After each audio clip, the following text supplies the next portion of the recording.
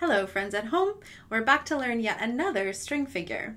This time we're going to need a fairly long piece of string because we're going to try something called chicken feet. We start off very similarly, we hook our thumbs in and then carefully get those pinkies inside. We're going to take our index finger and grab that string across the palm of our hand and we're going to do the same thing on the other side. Now it gets a little trickier.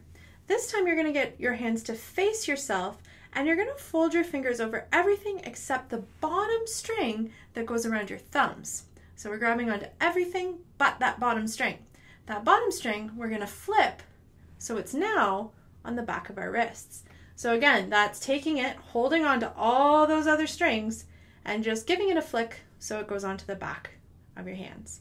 Then you're going to open your hands up again, just like you're going to clap.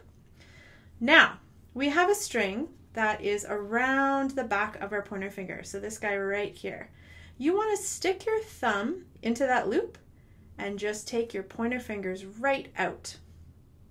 Now, make sure those strings are really far down on your fingers so they're not going to fall off because this string that's going across the back of my wrists, so the one way down here at the bottom, we're actually going to carefully pick that up and we're going to put it between our ring finger and our middle finger on one side and then the same string, so the one that goes across the back of your hand, pick it up and put it between your ring finger and your middle finger.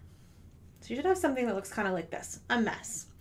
What we're gonna do then is we're gonna take our little pinkies, that string that goes straight across, you wanna go over top of that and underneath the string that's under it on both sides. Kind of tricky. Now we have a string that goes straight across at the back of our pinkies we want that to come off both pinkies. Then we drop our thumbs and we have chicken feet. Give it a try.